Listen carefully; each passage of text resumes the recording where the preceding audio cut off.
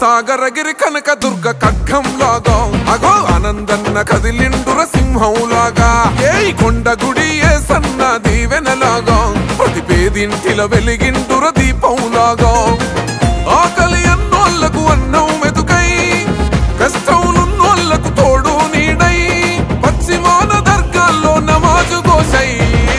బొటెత్తి కదిలింది బొటెత్తి కదిలిందే బొటెత్తి కదిలిందిర పశ్చిమ జన సంద్రం వస్తే ఎనలేని ఆనందం. విశాఖ పశ్చిమ నియోజకవర్గం ఎన్నికల పరిశీలకులు వేలా ఉమారాణి గారితో మనం ఉన్నాం.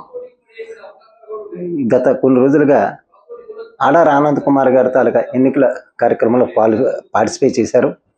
వార్డు వార్డులో పద్నాలుగు వార్డులు కూడా తిరిగి ప్రజల్లో ఉన్న సమస్యలు ప్రజలకు ఏం కావాలి? నియోజకవర్గంలో అభివృద్ధి కార్యక్రమాల మీద మేడం గారు తెలుసుకున్న విశేషాలు అలాగే ఈసారి ఆనంద్ గారు గెలవడానికి ఎటువంటి కార్యాచరణ చేపట్టారో అడిగి తెలుసుకుందాం. మేడం గారు నమస్తే అండి. నమస్కారం అండి మేడం గారు ఎన్నికలు మొదలైన దగ్గర నుంచి చాలా వరకు పద్నాలుగు వార్డులు అంటే మీ నియోజకవర్గం మొత్తం మీరు తిరిగారు. ఎన్నికల వాతావరణం ఎలాగుంది? ఆనంద్ గారు పాజిటివ్ ఆర్ నెగిటివ్? ఏమనిపించింది మీకు? హండ్రెడ్ పర్సెంట్ పాజిటివ్గా ఉందండి ఆనంద్ కుమార్ గారికి. ఆనంద్ కుమార్ గారు తనని ఇన్ఛార్జిగా వేసిన తర్వాత ఎయిటీన్ మంత్స్ అయిందండి ఇప్పటికి వన్ అండ్ హాఫ్ ఇయర్స్ ఈ పద్దెనిమిది నెలల కాలంలో నియోజకవర్గంలో అన్ని వార్డుల్లో పద్నాలుగు వార్డుల్లో ఇటు ఇండస్ట్రియల్ బెల్ట్ అటు ఎన్ఏడి గోపాలపట్నం సైడ్ కూడా డోర్ టు డోర్ ఓకే. రెండు మూడు సార్లు ప్రతి ఇంటికి కూడా వెళ్ళారండి. వెళ్ళి వాళ్ళ సమస్యలు ఏంటో స్వయంగా వారు తెలుసుకున్నారు. తెలుసుకుని పద్దెనిమిది నెలల కాలంలో రెండు వందల పాతిక కోట్ల అభివృద్ధి కార్యక్రమాలు నియోజకవర్గంలో చేశారు. చేయడంతో పాటు ఎక్కడైనా గవర్నమెంట్ ద్వారా ఎవరికైనా కొన్ని కార్యక్రమాలు అందని విషయాలు కొన్ని ఉంటాయి కదా టెక్నికల్ ప్రాబ్లమ్స్ వచ్చి ఎవరికి పెన్షన్స్ అందకపోవడం లేకపోతే వేరే పథకాలు ఏవైనా అందకపోవడం ఇలాంటివి ఏవైనా ఉన్న చోట్ల ఆయన ఏం చేశారంటే తన వాళ్ళు అర్హులైన భావించినప్పుడు తన సొంత నిధుల నుంచి వెచ్చించి చాలా కొన్ని వేల వందల మందికి పద్దెనిమిది నెలల కాలం నుంచి కూడా పెన్షన్స్. వాళ్ళకి ఏమైనా సిమెంట్ షీట్స్ అందలేదంటే రేకులు ఇల్లు కట్టుకోవడానికి అందలేదు అంటే వాళ్ళకి ఇల్లు కట్టుకోవడానికి ధన సహాయం. ఎవరికి యాక్సిడెంట్ అయినా వెళ్ళి సహాయం. ప్రతి ఒక్కరు కూడా పేదవాళ్ళు అన్నవాళ్ళు ఆనంద్ గారి ఆఫీస్కి వచ్చి సహాయం పొందకుండా వెళ్ళిన సందర్భాలు లేవు. అలా ప్రజలకి ఆయన బాగా దగ్గరయ్యారు. ఆనంద్ గారు మాకు కష్టంలో నష్టంలో మాతో పాటు ఉన్నారు ఈ పద్దెనిమిది నెలల కాలంలో.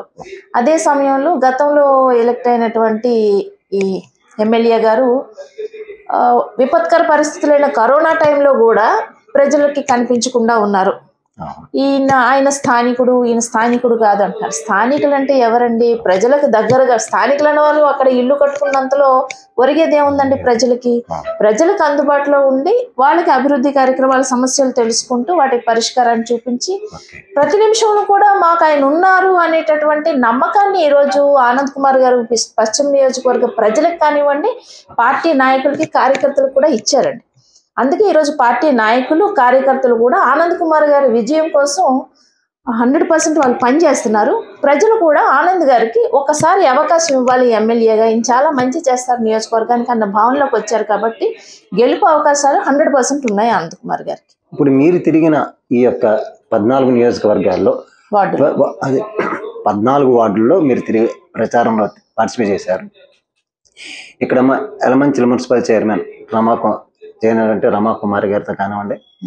అలాగే వైసీపీ ఎమ్మెల్యే అభ్యర్థిగా పోటీ చేస్తున్న ఆనంద్ కుమార్ గారితో కానివ్వండి. మీరు సొంతంగా ఈ తిరిగిన ఈ యొక్క వార్డు పర్యటనలో ప్రజలు అంటే ఈ- సమస్య మాకు ఉన్నాయమ్మా ఇన్ని రోజులు బట్టి ఈ సమస్యలు పెండింగ్లో ఉండిపోయి ఓకే ఆనంద్ బాబు గారి వల్ల మాకు ఈ- సమస్య గట్టెక్కుతుంది. ఈయన కంపల్సరీ గెలిపించుకుంటాం అన్న వాతావరణం మీకు ఏమైనా ఎక్కడైనా కనిపించిందా. చాలా సమస్యలు పేరుకుపోయి ఉన్నాయండి. దశాబ్దాలుగా ఉండిపోయి వాటికి ఎటువంటి సొల్యూషన్ లేకుండా ఉండిపోయి ఉన్నాయి చాలా సమస్యలు. అందులో ప్రధానమైనది నిరుద్యోగ సమస్య అండి. నిరుద్యోగ సమస్య ఎలా ఉందంటే ఇప్పుడు పారిశ్రామిక ఇండస్ట్రియల్ బెల్ట్ తీసుకుంటే ఎన్నో పరిశ్రమలు ఉన్నాయండి ఇక్కడ. పరిశ్రమల్లో స్థానికులకి ఎవరికి ఇక్కడ ఉద్యోగాలు లేవండి. అంటే వివిధ స్థాయిల్లో ఉన్న ఉద్యోగాలు ఇప్పుడు హై రేంజ్లో ఉన్న ఉద్యోగాలు కాకపోయినా దిగువ స్థాయిలో ఉన్న ఉద్యోగాలు కూడా వీరు కాకుండా వీరికంటే తక్కువ విద్యార్హతలు ఉన్న వాళ్ళని ఒరిస్సా నుంచి తీసుకువచ్చి వాళ్ళకి ఇక్కడ ఉద్యోగాలు వాళ్ళు ఉంటే వీళ్ళేమో క్రింద హౌస్ కీపింగ్ ఇలాంటి పనులకు. లేబర్ పనులకు. అఫీషియల్గా వీళ్ళకంటే విద్యార్హతలు తక్కువగా ఉన్న వాళ్ళు మళ్ళీ తీసుకొచ్చి వీళ్ళ మీద పనిచేస్తే దాన్ని ఇక్కడ లోకల్గా ఉన్నటువంటి యువత చాలా చోట్ల గ్రహించడం జరిగిందండి. మ- ఆనంద్ గారి దృష్టికి మేము వార్డు పర్యటనకు వెళ్ళినప్పుడు ఆనంద్ గారి దృష్టికి తీసుకురావడం. ఈ నిరుద్యోగ సమస్య విపరీతంగా ఉంది. దశాబ్దాల నుంచి వీళ్ళని ఎవరు పట్టించుకోలేదు. అందుకు అది ఒక ప్రధానమైన సమస్య అండి ఇండస్ట్రియల్ బెల్ట్. దీని గురించి ఆనంద్ కుమార్ గారు సీఎం జగన్మోహన్ రెడ్డి గారికి కూడా చెప్పడం. చెప్పిన తర్వాత జగన్మోహన్ రెడ్డి గారు ఆనంద్ గారికి ఒక హామీ కూడా ఇచ్చారటండి. ఓకే. గవర్నమెంట్ వచ్చిన తర్వాత ఒక జీవో తీసుకొచ్చి స్థానికంగా ఏవైతే పరిశ్రమలు ఉన్నాయో ఈ పరిశ్రమల్లో స్థానికులకి కొంత పర్సెంట్ ఉద్యోగాలు తప్పనిసరిగా ఇవ్వాలని ఒక జీవో తీసుకొచ్చి అది ఇంప్లిమెంట్ చేస్తాను. నువ్వు ఈ సమస్య నా దృష్టికి తీసుకొచ్చావని ఆనంద్ గారిని ఉద్దేశించి జగన్మోహన్ రెడ్డి గారు అన్నారటండి. అంటే వచ్చిన పద్దెనిమిది నెలల్లోనే ఈ నిరుద్యోగ సమస్యని జగన్మోహన్ రెడ్డి గారు సీఎం గారు దృష్టికి తీసుకువెళ్ళి దానికి ఒక పరిష్కార మార్గాన్ని ఆనంద్ కుమార్ గారు కనుగొన్నారు. మరి పదిహేను సంవత్సరాల పాటు ఇక్కడ ఎమ్మెల్యేగా పనిచేసిన వాళ్ళు ఆ పని ఎందుకు చేయలేకపోయారండి? అంటే ప్రజా సమస్యల పట్ల చిత్తశుద్ధి కొరవడింది అనమాట ఆ ఈ- విధంగా ఆనంద్ కుమార్ గారు ఈ ఇది ఒక ప్రధాన సమస్య. ఇకపోతే ఈ ఇండస్ట్రియల్ బెల్ట్లో అన్ని పోర్ట్ ల్యాండ్స్ ఎక్కువ ఉన్నాయండి పోర్ట్ ల్యాండ్స్ ఇప్పుడు ఏకే కార్పొరేషన్ ఉంది. కొన్ని దశాబ్దాలుగా నాలుగు వందల ఫ్యామిలీస్ అక్కడ సింగిల్ బెడ్రూమ్. ఒకే ఒక రూమ్ బెడ్రూమ్ అనకండి ఒకే ఒక రూమ్ ఇల్లు అంటే ఒక రూమ్ అనమాట ఒక మూల వంటగది ఒక మూల కొద్దిగా ఏదో బట్టలు అవి అడ్డు పెట్టుకుని స్నానాల గది. ఇలా బ్రతుకుతున్నటువంటి పరిస్థితి కొన్ని దశాబ్దాలుగా ఉంది. దాన్ని గుర్తించి దానికి పరిష్కార మార్గాన్ని ఇప్పటివరకు సూచించలేదు ఎవరు. అది నలభై వార్డులో ఉన్నట్టుందండి అవునండి అవును? అది ఇప్పుడు ఆనంద్ కుమార్ గారు ఆ విషయాన్ని కూడా సీఎం గారి దృష్టికి తీసుకువెళ్ళడం. అది పోర్టు స్థలం అవడం వల్ల ఆ స్థలం వాల్యూ ఎంత ఉందో ఆ వర్త్ ఉన్న స్థలాన్ని సి- వేరే చోట ఇంకెక్కడైనా కేటాయించి కేటాయించడం కూడా జరిగిపోయింది. జరిగిపోయి ఇక్కడ వీళ్ళకి ఫోర్ హండ్రెడ్ ఫ్యామిలీస్కి జీ ప్లస్ త్రీ నిర్మాణానికి కూడా శంకుస్థాపన కూడా చేయడానికి రెడీగా ఉంది. అయితే మనకి ఎలక్షన్ కోడ్ వచ్చింది కాబట్టి ఆగింది. ఇప్పుడు ఎలక్షన్ అయిన వెంటనే ఆ కార్యక్రమం కూడా జరుగుతుంది. అంటే ఇప్పుడు ఎక్కడైతే ఉన్నారో అక్కడే అక్కడే. నివాసాలు అక్కడే కడతారు. అక్కడే కడతారు. అందుకే ఆ సైట్ పోర్టుది కాబట్టి పోర్టుకి పోర్టుకి ప్రత్యామ్నాయ స్థలాన్ని. వేరే చోట కేటాయిస్తారు అనమాట ఓకే అంటే దీన్ని ముఖ్యమంత్రి గారు ఒప్పుకున్నారండి విషయాన్ని? ఒప్పుకున్నారు. పోర్టు స్థలాన్ని వేరే చోట కేటాయించడం కూడా జరిగింది. అంటే ఇక్కడ ప్రాబ్లం ఎక్కడొచ్చిందంటే ఇన్ని సంవత్సరాలుగా ఇక్కడ స్థానికుడు అంటూ చెప్పుకుంటున్న వ్యక్తి ఈ సమస్యని సమస్యకి ఇప్పుడు పరిష్కారం చూపించలేదే. వాళ్ళ ఒక గదిలోనే అందులోనే పాటలు నానా కష్టాలు పడుతున్నారు. వచ్చిన పద్దెనిమిది నెలల కాలంలో ఇట్లాంటి జటిలమైనటువంటి సమస్యలకు కూడా పరిష్కార మార్గాన్ని ఆనంద్ కుమార్ గారు కనుక్కున్నారు. ఇది ప్రజలు గుర్తించారండి. ఇది ప్రజలు గుర్తించి ఎలి- ఎమ్మెల్యే కాకముందే ఇంత సేవాభావంతో పనిచేస్తున్నటువంటి వ్యక్తి రేపు ఎమ్మెల్యే అయిన తర్వాత అన్ని విధాలుగా మాకు అండగా ఉంటారు. మా కష్టం ప్రతిదీ వింటారు. ఫస్ట్ ఆఫ్ ఆల్ వినాలి కదండి. వినే ఓపిక కూడా అసలు వినడానికి కూడా మనిషి కనబడకపోతే వీళ్ళు ఎవరికి చెప్తారు? విని వాటికి పరిష్కారం కూడా చూపిస్తున్నారని అది ఒకటి ఆనంద్ గారికి బాగా ప్లస్ అయింది. గెలుపు అవకాశం అదొకటి అండి. ఇంకా సమస్యలు అడిగితే ఈ ఇండస్ట్రియల్ బెల్ట్ మొత్తం మీద యూత్కి అసలు రిఫ్రెషింగ్గా ఒక ప్లే గ్రౌండ్స్ కూడా లేవు. అన్ని పోర్ట్లాండ్స్ వీళ్ళకి ఎక్కడి నుంచి వస్తాయి ప్లే గ్రౌండ్స్ ప్లేసే లేదు కదా లేదు. దానికి కూడా ఆనంద్ గారు సుముఖత వ్యక్తం చేశారు. యూత్కి ఏం కావాలండి? రిఫ్రెష్ అవ్వాలి కదా వాళ్ళు. ఆడుకోవడానికి ఏ ప్లే గ్రౌండ్స్ లేవంటే పోర్టు స్థలం వేరే చోటు ఇప్పుడు ఏకే కార్పొరేషన్ కేటాయించినట్టే వేరే స్థలాన్ని మీకు ఇక్కడ లోకల్గా ఉన్న వాళ్ళకి స్థలాన్ని కేటాయించి ప్లే గ్రౌండ్స్ కూడా ఏర్పాటు చేస్తామన్నారు. అలాగే గవర్నమెంట్ కాలేజెస్ లేవండి. మొన్న ఎవరో ఒక యూత్ మీటింగ్కి అభ్య ఆనంద్ కుమార్ గారిని పిలిస్తే వారితో పాటు మేము కూడా మరి గవర్నమెంట్ కాలేజీ లేదండి ఇంజనీరింగ్ కాలేజీ లేవు ఇక్కడ. రెండు కూడా లేవు. మీకు అందుబాటులో అసలు ఇంజనీరింగ్ కాలేజ్ తర్వాత అసలు గవర్నమెంట్ కాలేజ్ లేదు. లేదు. వీళ్ళందరూ ఎక్కడెక్కడికో వెళ్ళి చదువుకుని అంతా అసలు అంత మిడిల్ క్లాస్ పీపుల్ కూడా కాదండి ఇక్కడ. Lower class lower middle class పీపులే ఎక్కువ ఉన్నారు ఇండస్ట్రియల్ బెల్ట్ వీళ్ళందరూ ఇంకొక చోటికి వెళ్ళి వాళ్ళు వాళ్ళ నైపుణ్యాన్ని ఎలా పెంచుకుంటారండి అసలు? వాళ్ళ ఎడ్యుకేషన్ క్వాలిటీ క్వాలిఫికేషన్స్ వాళ్ళకి పెరిగితే కదా. అది ఒకటి ప్రధానమైన సమస్య. ఇంకోటి నిరుద్యోగ సమస్య గురించి ప్రస్తావించినప్పుడు చెప్పలేదు నేను. ఆనంద్ గారు ఈ పద్దెనిమిది నెలల కాలంలోనే సో జాబ్ మేళ ఒకటి నిర్వహించారు. అప్పటికి నేను రాలేదు ఇక్కడికి. ఓకే. జాబ్ మేళ కాలేజ్ దగ్గర ఏదో నిర్వహించారు అండాలమ్మ కాలేజ్లో మొత్తం జాబ్ మేళా నిర్వహించారు. అవును. అండాలమ్మ కాలేజ్ లోనో లేకపోతే గోపాలపట్నంలోనో అక్కడ ఇక్కడ రెండు నిర్వహించారు. ఎక్కడ సంభవ్? నియోజకవర్గంలో. మొత్తానికి. జాబ్ మేళ నిర్వహించి యువత అందరికి కూడా ఉద్యోగాలు కల్పించాలని లెక్క మీకు నాకు నంబర్ గుర్తులేదు. చాలా కంపెనీస్ని పిలిపించి యువతకి ఉద్యోగాలు క- వాళ్ళకి ఇంటర్వ్యూస్ నిర్వహిస్తే ఇక్కడ ఉన్న వాళ్ళు పద్దెనిమిది వందల మంది సెలెక్ట్ అయ్యారు. సెలెక్ట్ అయిన వాళ్ళు కూడా తర్వాత మళ్ళీ జాయిన్ అవ్వకపోవడం అని గమనించారనమాట ఎందుచేత జాయిన్ అవ్వలేదు కొంతమంది అంటే వీళ్ళు ఫ్లూయెంట్గా ఇంగ్లీష్ మాట్లాడగలిగే స్కిల్డ్ లేదు అని. స్కిల్ చాలా తెలుగు మీడియం నుంచి. వచ్చిన వాళ్ళకి ఇంగ్లీష్ ఫ్లూయెంట్గా. మాట్లాడే అవకాశం ఉండదు. అది కూడా గుర్తించి వాళ్ళకి online classes spoken English online classes. అందించారు. అది కూడా అందించారు. అంటే అదొక కుటుంబం తన కుటుంబంలా భావించి ఒక్కొక్క సమస్యకి పరిష్కారాన్ని చూపించి. వాళ్ళ వెల్ బీయింగ్ కోసం. ఆనంద్ కుమార్ గారు కష్టపడుతున్నారండి. ఆ English spoken English classes start చేశారు. ఇప్పటికీ ఉన్నాయి. వీళ్ళు ఆఫ్లైన్లో నేర్చుకోవాలని డైరెక్ట్గా వెళ్ళొచ్చు. ఆ ఫీజు మళ్ళీ ఆనంద్ గారే కడుతున్నారు. ఆన్లైన్ క్లాసెస్ ఇంటి దగ్గర ఉండి మేము చదువుకుంటామని ఇంగ్లీష్ స్పోకెన్ ఇంగ్లీష్లో మేము నైపుణ్యం తీసుకుంటామంటే అలా కూడా చేస్తున్నారు. అంటే వీళ్ళకి జాబ్ మేళా నిర్వహించి జాబ్ మేళాలో ఎందుకు వీళ్ళు అందులో అర్హత ఉన్నా సరే కూడా ఎందుకు వెళ్ళి జాయిన్ అవ్వలేదంటే దానికి కూడా కారణం కనుక్కొని దానికి కూడా మళ్ళీ ఒక పరిష్కారం. ఒక్క రాజకీయ నాయకుడి నుంచి ఇంతకు మించి ఇంతకు మించి ప్రజలు ఎక్స్పెక్ట్ చేసేది ఏముంటుంది? ఇంతకు మించి ఏం ఎక్స్పెక్ట్ చేయరు. ఎమ్మెల్యే కాకముందే ఇన్ని కార్యక్రమాలు చేస్తున్నారు కాబట్టి నిజంగా రాజకీయ ఈ రోజున్న రాజకీయ పరిస్థితులను పక్కన పెడితే ప్రజలు తమ ఓటుని సరైన వ్యక్తికి వేయదలుచుకుంటే తమ నాయకుడిని మంచి నాయకుడిని మేము ఎన్నుకోవాలనే దృక్పథానికి ప్రజలు వస్తే గనక ఖచ్చితంగా ఆనంద్ కుమార్ గారు గెలిచి తీరాలి. గెలుస్తారని అందుకే గెలుస్తారని కూడా మా నమ్మకం. కుమారాణి గారు ఎప్పుడు కూడా అంటే ఎమ్మెల్యే కానీ ఎంపీ కానీ ఎలక్షన్స్ వచ్చేటప్పుడు ఏ నాయకుడైనా ఓట్ల కోసం వచ్చి ఎన్నికైన తర్వాత ప్రజా సమస్యలు పట్టించుకోవటం లేదు అనేది ప్రజల్లో అపోహ. ఇప్పుడు కాదు మొదటి నుంచి. ఆనంద కుమార్ గారు వే ఈయన మార్గం వేరే అనిపిస్తుంది. అంటే అసలు ఎన్నిక అవ్వకముందే గత పద్దెనిమిది పంతొమ్మిది నెలల నుంచి సేవా కార్యక్రమం చేశారు. ఇప్పుడు ప్రజలు ఏమని అనుకోవాలి ఆనంద్ కుమార్ గారి విషయంలో? వాళ్ళు అంటే ఎన్నికైన తర్వాత కనిపించలేని నాయకుడిని దృష్టిలో పెట్టుకోవాలా? ఎన్నిక అవ్వకముందు సేవలు అందించిన ఈ నాయకుడు పూర్తి మనతో ఉంటారు ఈయన అని అనుకోవాలి? అనుకుంటున్నారు కదండి. పూర్తిగా మనతో ఉంటారనే అనుకుంటున్నారు ఇంకా. అంటే చేసి చూపించారు.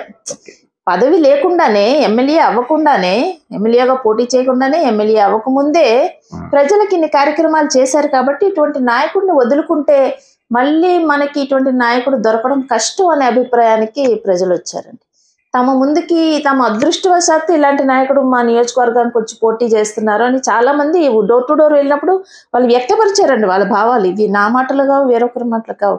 ప్రజలు వాళ్ళే వాలంటీర్గా బయట బయటకు వచ్చి వాలంటరీగా వాళ్ళే వచ్చి చెప్తున్నారు. అంటే తెలుగుదేశం ప్రభుత్వంలో వాళ్ళన్న మాట ఏంటంటే మేము ఇప్పటిదాకా చేయవలసిన అభివృద్ధి కార్యక్రమాలు చేసాం ఆనంద్ వచ్చి ఇప్పుడు వచ్చి ఏం చేశారు? చేయవలసింది లేదు కదా. చిన్నపాటి చేసి దాన్ని పబ్లిసిటీ చేసుకున్నారే తప్ప. వాళ్ళు ఏం చేశారండి టీడీపీ వాళ్ళు? ఈ ఇప్పుడు నేను చెప్పిన సమస్య నిరుద్యోగ సమస్యని గురించి దాన్ని నివృత్తి చేయడానికి ఎటువంటి కార్యక్రమాలు తీసుకోలేదు. ఏకే కార్పొరేషన్ సమస్య ఎప్పటిలాగే అలాగే ఉండిపోయింది. దాని గురించి ఏమీ చేయలేదు.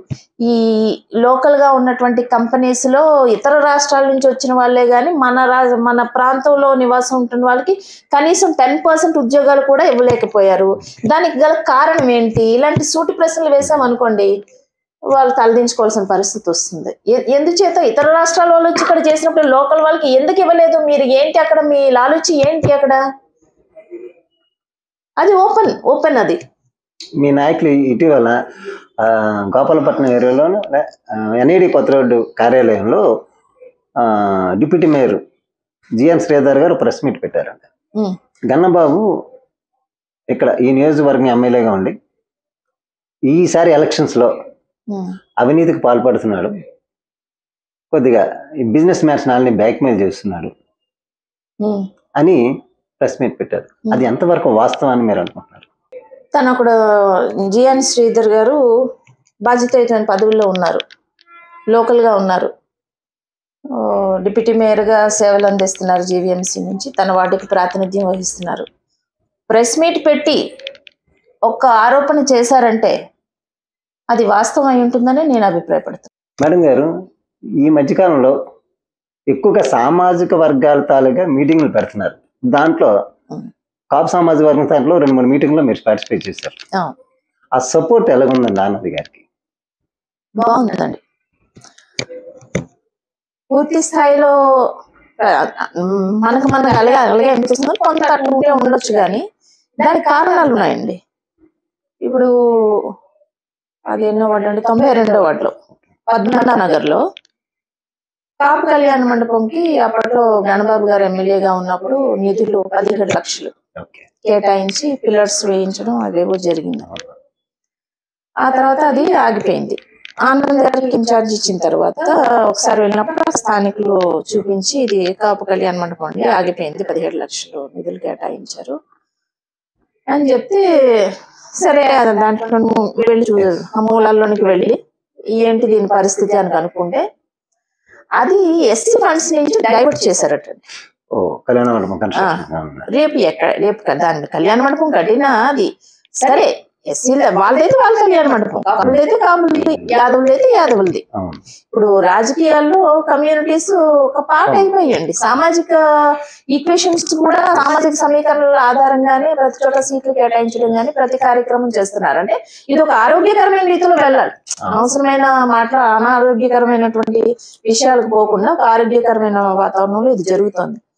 అది చూసినప్పుడు ఇది ఎస్సీ ఫండ్స్ నుంచి వచ్చింది కాబట్టి ఇది రేపు కాపు కళ్యాణ మండపం అవడానికి వీల్లేదు కాబట్టి దీనికి ఏం చేయాలి అని అనుకుని అప్పుడు కన్సర్న్డ్ ఆఫీసర్స్తో మాట్లాడి ఆ కాపు కళ్యాణ మండపం రెండు కోట్లు కేటాయించి ఎస్సీ ఫండ్స్ నుంచి డైవర్ట్ చేసింది కాకుండా రెండు కోట్లు కేటాయించి అక్కడ కాపు కళ్యాణ మండపం స్టార్ట్ చేశారు కూడా అంటే శంకుస్థాపన ఇనాగ్రేషన్ అన్ని అయిపోయి ఓకే అర్ధగతరంగా వేరే పర్సన్ డైవర్ట్ చేసి పదగత ఎమ్మెల్యే చేస్తే రెండు కోట్లు కేటాయింపు చేసి దాని నిర్మాణం కూడా అందజేసి కాపులకు అందించినప్పుడు కాపులు అది కలారా చూసి కలర్ కనిపిస్తుంది కదండి అది. అవుట్ రేట్గా సపోర్ట్ చేస్తారు. అంటే ఈ మధ్య కాలంలో కాపు సామాజిక వర్గం కానండి రెడ్డి సామాజిక వర్గం అగ్నికుల క్షత్రియ సామాజిక వర్గం రాజకృష్ణ ఇలా అన్ని సామాజిక వర్గాలు మీటింగ్లు పెడుతున్నారు. అసలు పబ్లిక్ అంటే ఏ సామాజిక వర్గం సంబంధం లేకుండా ఒక ఎమ్మెల్యే కానీ ఎంపీ కానీ అసలు ఇండివిజువల్గా ఈ సామాజిక వర్గాల పద్ధతి అనేది ఈసారి ఎలక్షన్లో మేము చూస్తున్నాం. ఇంతకుముందు ఇంత విరివిరిగా లేదు. ఇదివరకు కూడా ఉన్నాయి కానీ తక్కువ స్థాయిలో ఉన్నాయండి. ఇప్పుడు చాలా రాజకీయాలే ఒక రేంజ్కి వెళ్ళిపోయాయండి. రాజకీయాలే సామాన్యుడికి అందనటువంటి రేంజ్లోకి వెళ్ళిపోయి అలాగే ఈ సామాజిక వర్గాలు ఈ మీటింగ్స్ ఇవన్నీ కూడా అంటే మనకి ఇష్టం ఉన్నా లేకపోయినా మనం దీనికి వ్యతిరేకం అయినా కాకపోయినా సరే కూడా వీటిని ఫాలో అవ్వాల్సినటువంటి నెసెసిటీ ఈ ప్రజెంట్ పాలిటిక్స్లో ఏర్పడింది. ఈ దీనికి బేసికల్గా బేసికల్గా నేను కూడా దీన్ని సమర్థించనండి. బట్ పార్ట్ ఆఫ్ పాలిటిక్స్ రాజకీయ ఎలక్షన్స్కు వెళ్ళాలి అంటే అందరి మద్దతుని కూడగట్టుకోవాలి ఇప్పుడు ప్రజలు కూడా ఒక కాపు సంఘం లేకపోతే ఒక యాదవ సంఘం ఒక గౌర సంఘం ఏర్పాటు చేసుకుంటున్నారంటే తమ తమ సామాజిక వర్గంలో ఎవరైనా పేదవాళ్ళు ఉన్నట్లయితే ఎవరికైనా ఏదైనా కష్టం వస్తే వాళ్ళని ఆదుకోవడానికి ఉద్దేశిస్తూనే. ఇవి ఏర్పాటు చేసుకుంటున్నారు. వీళ్ళు కూడా ఈ ఎలక్షన్స్ వచ్చినప్పుడు మాకు ఈ ప్రాబ్లమ్స్ ఉన్నాయి. మీరు దీన్ని సాల్వ్ చేయండి. అనేసి అంటే ఆల్మోస్ట్ అందరూ ఇప్పుడు ఈ క్యాండిడేట్స్ అందరూ మేము చేస్తాం మేము చేస్తాం అని అంటూ ఉంటారు. బట్ వీళ్ళ హిస్టరీ ఒకటి ఉంటుంది కదా. దాన్ని పరిశీలించి ఎవరు చేయగలరు ఎవరు చేస్తారు అనేది పరిశీలించుకొని వాళ్ళు వేస్తారు. ఇప్పుడు అలాగే అక్కడ ఒకటి నిన్న మీరు కాపు సంఘం నేను పార్టిసిపేట్ చేశానని అన్నారు కదా. ఆటోమేటిక్గా మరి ఆ సామాజిక వర్గానికి చెందినప్పుడు పిలవడం వెళ్ళడం అంతా జరిగింది. అక్కడ ఏదైతే ఇప్పుడు పశ్చిమ నియోజకవర్గం వచ్చేసరికి ఇటు ఏడు వార్డులు ఇండస్ట్రియల్ బెల్ట్లో అటు ఒక ఏడు వార్డులు ఉన్నాయి కాబట్టి. అక్కడ ఏదైతే కాపు కళ్యాణ మండపం కట్టించామో అదే రీతిలో ఇక్కడ కూడా దానికి తగ్గకుండా ఇంకొక కాపు కళ్యాణ మండపాన్ని ఎలక్ట్ అయిన సిక్స్ మంత్స్లోనే శంకుస్థాపన చేస్తానని కూడా ఆనంద్ గారు మాట ఇచ్చారు చెప్పాలంటే నిన్న మీటింగ్లో కాపు సంఘాల నాయకులు మేము ఆనంద్ గారి గురించి విన్నాము. ఈ మీటింగ్లో ఎలక్షన్స్ ముందు వారిని మేము ఏమీ అడగదలుచుకోలేదు. అడగం. ఎందుకంటే మాకు నమ్మకం ఉంది. ఆయన హండ్రెడ్ పర్సెంట్ చేస్తారని. కాబట్టి ఆయన గెలిచిన తర్వాత మేము అడుగుతాం మాకేం కావాలో అని అవుట్ రైట్గా వాళ్ళ మద్దతుని ప్రకటించారు.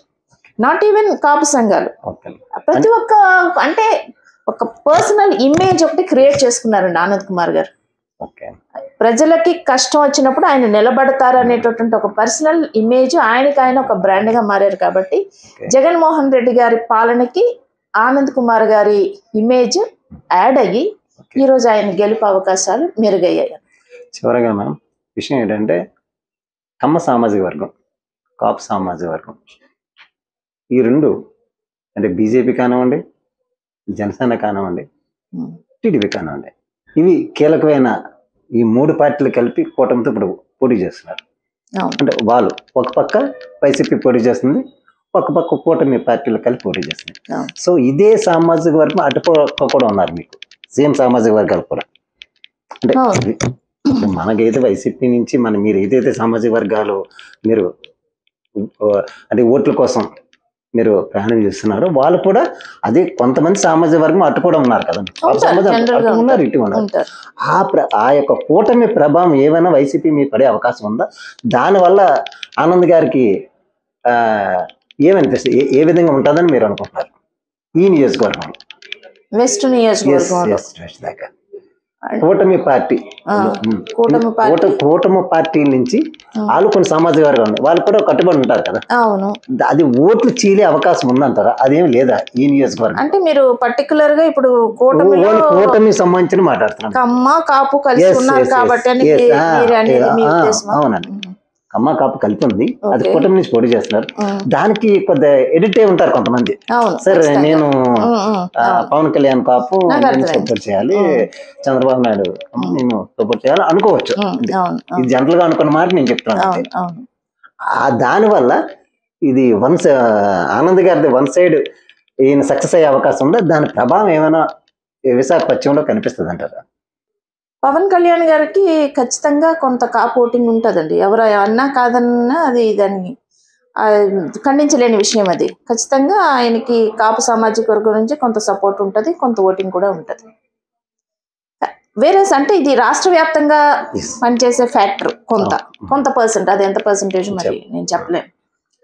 పశ్చిమ నియోజకవర్గ విషయం వచ్చేసరికి ఇక్కడ బరిలో నిలిచినటువంటి మెయిన్ అభ్యర్థులు ఇద్దరు కూడా కాపు సామాజిక వర్గానికి చెందిన వాళ్ళు కాదు. బహుశా కూటమి నుండి అక్కడ ఒక కాపు అభ్యర్థి నిల్చుంటే గనక దాని ప్రభావం ఉం ఉంటుంది ఖచ్చితంగా. బట్ ఇక్కడ ఈ రెండు పార్టీల నుంచి నిలిచిన వాళ్ళు ఇద్దరు కాపు సామాజిక వర్గానికి చెందిన వాళ్ళు కాదు. కాబట్టి పర్సనల్ ఫ్యాక్టరీ ఇక్కడ పనిచేస్తుంది పశ్చిమ నియోజకవర్గంలో. Person factor person. గణబాబు గారు ఆనంద్ కుమార్ గారు. పర్సన్ ఫ్యాక్టరే పశ్చిమ నియోజకవర్గంలో పనిచేసి నిన్న చెప్పాను కదండి కాపులకి ఎటువంటి కార్యక్రమాలు చేశారు. అలాగే ఇంకా కొత్తపాలెంలో కూడా ఒక కాపు రామాలయంకి తీసుకెళ్ళి ఇది మేము కాపులం కట్టుకున్నామండి. పక్కనే ఒక గవర రామాలయం ఉంది. ఇది శిథిలావస్థకు వచ్చేసిందండి. ఇప్పుడు గవర కులస్తుని గవ- అంటే ఇది పదే పదే ఈ కులాల్ని మెన్షన్ చేయడం కూడా నాకు ఇష్టం లేదండి. బట్ జరుగుతోంది ఇప్పుడు ప్రస్తుతం మరి దానికి సామాజిక వర్గానికి చెందిన వాళ్ళు మరి దాని నుంచి మనం పైకి ఎవరు అంటే ఫలానా చెప్తాం కదా ఇంకోటి చెప్పేది కూడా కాదు కదా. ఇది శిథిలావస్థకు చేరుకుంది కాబట్టి మీరు దీనికి ఏదో హెల్ప్ చేయండి అని అంటే "ఆ, ఖచ్చితంగా చేస్తాను అని అంటూ నేను కాదు కదా మా ఫాదర్ చాలా రామాలయాలు కట్టించున్నారు. అసలు ఇక్కడికి ఏదో వస్తే నాకు ఒక వైబ్రేషన్ లా ఉంది. నాకు నేను ఫీల్ అయ్యాను అది. నేను ఖచ్చితంగా చేస్తాను. ఆ తర్వాత అక్కడ మళ్ళీ కుల రాజకీయాలు ప్రవేశపెట్టారు. ఫలానా కులస్తులు వచ్చి ఫలానా కులానికి రామాలయం ఇవ్వడం ఏంటి? ఇలాంటివన్నీ ఉమ్. ఆయన ఫైనలీ ఈ ఆనంద్ కుమార్ గారి మనస్తత్వం తెలిసిన తెలుసుకుని వాళ్ళు రావడం ఆనంద్ కుమార్ గారు దానికి ఆలయం కట్టించడానికి కొనుక్కోవడం ఇటువంటి కార్యక్రమాలు జరుగుతాం అంటే ఒక వాళ్ళు వీళ్ళని కాదండి అవసరం ఆపద ఉన్నవాళ్ళు ఎవరైనా సరే నియోజకవర్గంలో ఏ కులం ఏ మతం ఎవరు ఏమని అడగ ఏ పార్టీ అని కూడా అడగటం లేదండి. ఏ పార్టీ అని కూడా అడగటం లే. ఈవెన్ కొన్ని యాక్సిడెంట్ కేసులు వస్తే పక్కన ఎవరో అన్నారట సార్ తెలుగుదేశం వాళ్ళు తె- కష్టంలో ఉన్న వాళ్ళు తెలుగుదేశం ఏంటి ఏ పార్టీ ఏంటి ఆ మాటలు నా దగ్గర వద్దని చెప్పి పార్టీలకు అతీతంగా కూడా పనిచేసినట్టు ఉదాహరణలు మనకున్నాయి. అలాగే నియోజకవర్గంలో పని పనిచేస్తున్నారంటే నియోజకవర్గాన్ని దాటి కూడా మన సిటీలో బులే కాలేజ్ ఆపోజిట్గా జనరల్ ఐ హాస్పిటల్ ఒకటి ఉంది జనరల్ ఐ హాస్పిటల్. అవునండి eye hospital. Regional eye hospital. Regional eye hospital? Regional eye hospital. ప్రాంతీయ కంటి హాస్పిటల్. అవునండి అవును. దానికి కూడా పూర్తి స్థాయిలో దాని పునర్నిర్మాణానికి అయ్యే ఖర్చు తానే భరిస్తానని చెప్పారు. ఇప్పుడు అది పశ్చిమ నియోజకవర్గం కాదు అవునండి. అది కేజీహెచ్లో కూడా ఏదో భావాని వార్డు ఏదో అవి కూడా ఏదో కంటిన్యూ. అంటే ఇది ఒక రాజకీయం కోసం అంటే పశ్చిమ నియోజకవర్గంలో చేస్తే ఓట్ల కోసం పోటీ చేస్తున్నారు కాబట్టి చేస్తున్నారు. అలా కాకుండా పార్టీలకి నియోజకవర్గాలకు కూడా కాకుండా బయట పార్టీల వాళ్ళకి బయట నియోజకవర్గాలకి కూడా వెళ్ళి పనిచేస్తుంటే ఆనంద్ గారి సేవా గుణం అది. దాన్ని అందరూ అర్థం చేసుకున్నారు. కాబట్టి దాన్ని బేస్ చేసుకొని అదే విధంగా జగన్మోహన్ రెడ్డి గారి పాలన బేస్ చేసుకొని వీటన్నిటిని మించి ఇప్పుడు విశాఖలో పోటీ చేస్తున్నటువంటి బొత్స ఝాన్సీ గారు మీరు ప్రత్యేకించి కాపు సంఘం అని అడిగారు కాబట్టి చెప్తున్నాను. అవును. ఒక కాపు మహిళకి విశాఖ జిల్లాలో ప్రాధాన్యత ఇవ్వాలి కాపులకు అనే ఉద్దేశంతో జగన్మోహన్ రెడ్డి గారు ఝాన్సీ లక్ష్మి గారికి అవకాశం కల్పించడం. ఆమె రెండు సార్లు ఎంపీగా పనిచేసినటువంటి ఎక్స్పీరియన్స్ ఉన్నది ఆమెకి ఓకే మంచి అవగాహన ఉన్నటువంటి నాయకురాలు సమర్థవంతమైన నాయకురాలు కాబట్టి. ఆమెను ఖచ్చితంగా అది కూడా ఇప్పుడు ఆనంద్ గారి గెలుపుకి కాపులు ఎటు పని చేస్తారండి? కూటమిక పశ్చిమ నియోజకవర్గంలో వైసీపీకి అన్నారు కదా. ఆమె అభ్యర్థిత్వం కూడా ఇక్కడ ఆనంద్ గారి నాయకత్వం ఆనంద్ గారి గెలుపుకు పనిచేస్తుంది కాబట్టి ఖచ్చితంగా వీరిద్దరు గెలుస్తారని నేను మనస్ఫూర్తిగా విశ్వసిస్తున్నాను. రానున్న రెండు వేల ఇరవై నాలుగు ఎన్నికలలో అటు కాపు సామాజిక వర్గం నుంచి ఎంపీ అభ్యర్థిగా పోటీ చేస్తున్న బచ్చా ఝాన్సీ లక్ష్మి గారు కానీ లేకపోతే ఈ నియోజకవర్గంలో ఉన్న కాపు సామాజిక వర్గం సంబంధించిన వ్యక్తులు కానీ ప్రజలు కానీ కులాలకి పార్టీలకి అతీతంగా సంబంధం లేకుండా ఒక జగన్మోహన్ రెడ్డి ప్రవేశపెట్టిన పథకాలు నెక్స్ట్ ఆనంద్ కుమార్ గారు తన సొంత సేవా కార్యక్రమాలు చేపట్టిన ఆ యొక్క రిజల్ట్ దీన్ని బట్టి తనకి ఈసారి ఈ నియోజకవర్గం నుంచి కంపల్సరిగా హండ్రెడ్ పర్సెంట్ గెలిచి నూటికి నూరు శాతం విన్ అయ్యి మినిమం యాభై వేల ఓట్ల మెజార్టీతో గెలిచే అవకాశం ఉంది అనేది కుమారాణి గారు అంటున్నారు.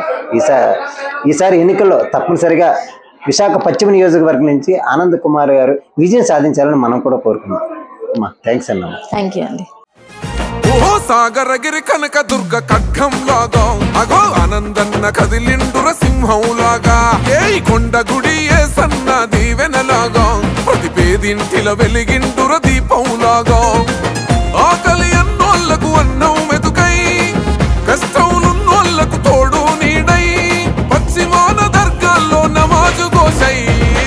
ఒటెత్తి కదిలింది ఒటెత్తి కదిలిందే ఒటెత్తి కదిలిందిర పశ్చిమ జనసంద్రం.